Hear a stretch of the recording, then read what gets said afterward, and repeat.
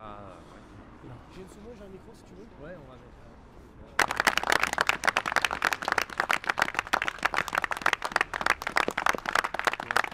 J'ai bu tout à l'heure un bouillon de poulet. Voilà, donc il paraît qu'il faut recommencer par des bouillons de poulet, des bouillons et après remanger de la soupe et des choses euh, plus liquides. Voilà. Je suis fatigué.